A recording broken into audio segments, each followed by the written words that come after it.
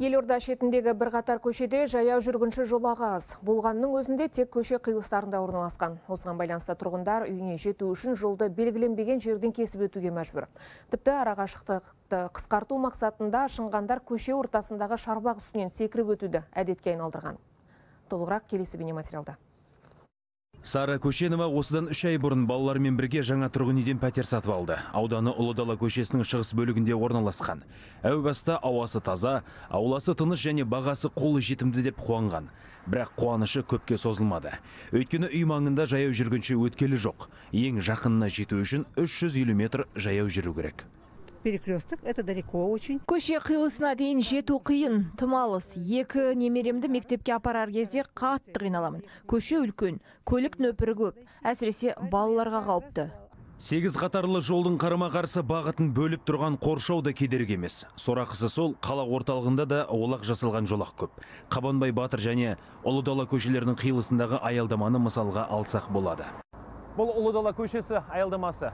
Жаяу жүргіншілер жолағына бет алсаңыз, алдыңыздан мынадай шарбақ шыға келеді. Ойын баласы үстінен секіріп өтер, ересек адам айналып өтер. Бірақ балалар, арбасы бар, ата-анамен мүмкіндігі шектеулі жандар қайтпек. Аялдама артындағы ішкі жолмен жүретін көлік жүргізушілері де шарбақты көре сала сырланбаған жаяу жүргінші жолағын байқамай жүйткей жөнеледі екен. сәл өту қиын шынымен постоянно өткенде машиналар тоқтамайды пешеходты көрмейді да адамдарға жол бермейді содан кейбірде түсініксіз түсініспеушілік болады мына балабақшадан қаншама бала шығады Ә, коляскамен шығады велосипедпен шығады итеріп өтуге конечно мына жер ыңғайсыз мына шарбақты алу керек пешеходты дұрыстау керек Бұл олқылықты әкімшілікке жеткіздік. Жауабын алдық. Мәселе алдағы уақытта шешіледі деп сендірді. Ал бірінші жағдай бойынша бас маман Азамат Қарагөзин былай дейді. Данном проекте, прошедшего Мемлекеттік сараптамадан өткен және барлық құзырлы орган мен әкімшілік полиция бекіткен бұл жобада көше ортасына бағдаршам тағы жаяу жүргінші жолағын қою қарастырылмаған. Өйткені көше кең, магистральды саналады. Сегіз қатарлы болған соң әр тұрғын үй кешені тұсына бағдаршам қоя беруге болмайды. Бәрі жобаға сай жасалған.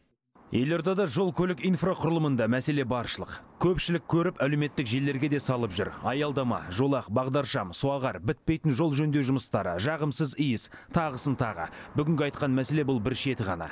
Жалпы Елордада осындай қанша көше бар деген сұраққа әкімдіктегілер жауап беруге асықпады. Мейірлан Алтынбек, Мейрам Жөнісов, Асхат Қарағойшиев, Хабар 24.